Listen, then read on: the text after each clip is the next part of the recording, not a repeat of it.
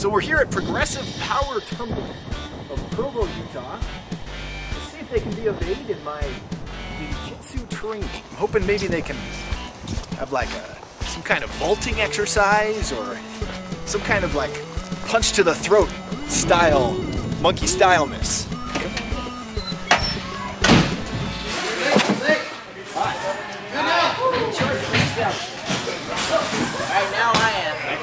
Gonna have to tell you though, you won't be able to wear most of that. Any of your zippers or rivets or possibly some like, you know, I've got one zipper on my vest. That's it. The rest is strictly for safety. Just trying to be safe. Alright, what's your name? My name is Captain Wolf. Simon Captain Bold. Excellent. What's up, man? I need to learn to do a back. Awesome. Where can I put my vest? Leave it on, you wuss. Oh wait, you told me zippers, but that, that's fine. I'm not a wuss. Is there any like special like meditations you have to do before? Alright. Here we go.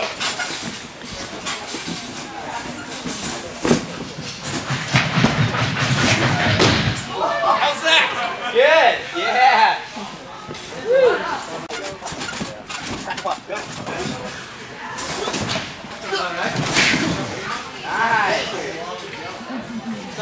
That's awesome or what? Yeah, sweet. Where did they get this Rastafarian ninja? I want one.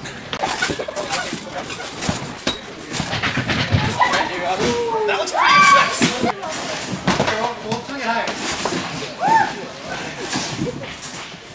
You make it look so easy. Maybe I should be the captain. Yeah. What do you think? Nice.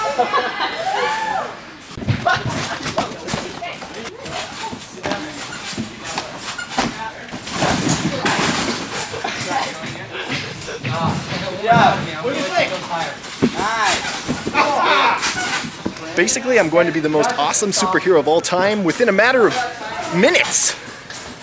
No wait, it just happened.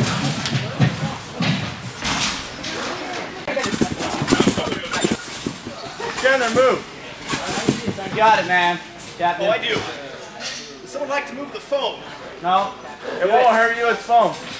All right, I just wouldn't want to hurt it. All right. Hey, I'm done.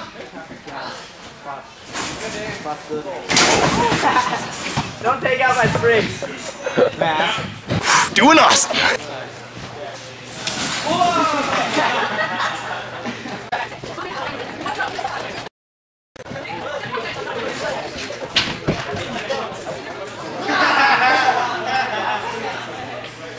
Hey, Captain, you do this one.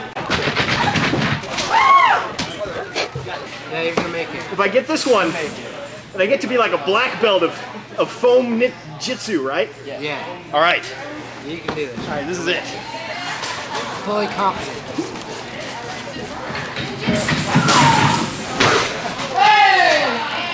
He didn't make it. Not quite.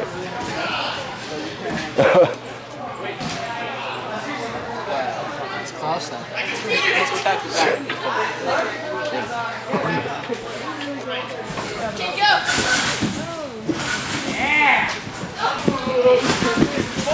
Slow motion.